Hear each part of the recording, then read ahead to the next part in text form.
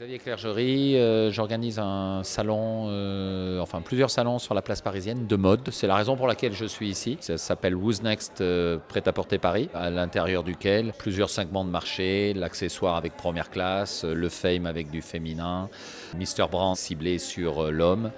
C'est le, le, gros salon parisien. Quelle sera votre action précisément lors de cet événement? Vous êtes ici pour découvrir des talents. Est-ce que vous en avez déjà découvert, découvert des collections qui vous plaisent? Oui, je trouve que la création est assez, euh, assez large. C'est-à-dire qu'on ne touche pas un seul marché. Il y a des, ça peut être un marché de couture, ça peut être un marché de prêt-à-porter, il y a le marché de l'accessoire. Je trouve que le panel est un panel euh, très intéressant et représente bien l'ensemble du marché. Ce salon est spécialement centré sur la Méditerranée. Quelles sont les particularités justement de cette culture?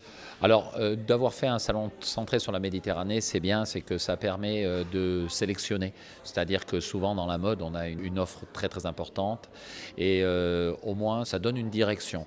Pour les professionnels, c'est bien parce que ça nous permet de cloisonner et de dire bon, on regarde ça, ça vient de la Méditerranée. À côté de ça, je pense qu'il y a une vraie démarche, c'est-à-dire qu'une personne qui crée, c'est souvent euh, en fonction de son environnement.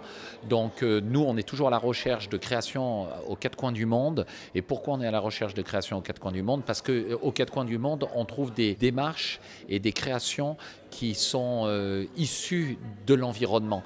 Donc quand on va par exemple dans le nord, en Finlande, en Norvège, il y a une mode, une certaine mode avec une certaine mentalité.